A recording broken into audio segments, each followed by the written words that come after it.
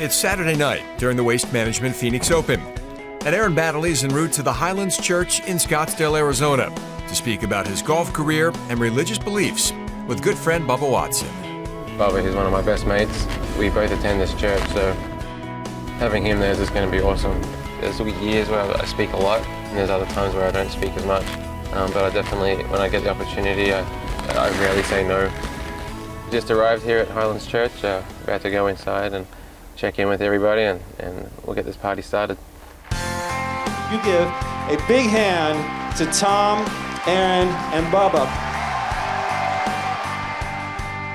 How did you start? What was the beginning of your career?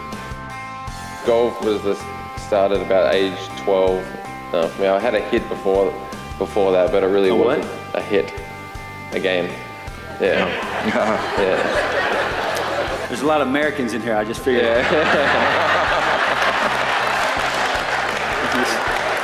I appreciate the translation. Yeah. You're welcome. I was about 12 when I gave my heart to the Lord. But I guess around that time, like when I won the first Australian Open and, and stuff, like I was a Christian, I professed to be a Christian, but to be honest, there wasn't a whole lot of difference between myself and my non-Christian friends.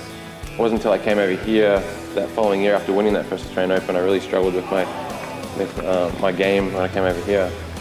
I really wasn't walking with the Lord. I was struggling being over here by myself. It was really through that difficult period of my game that really put me in the right direction. It's a fun night. It's not so much a church service. It's more just to come, enjoy, have a great night, and then just hear that how Jesus has changed the lives of two golfers. Good job.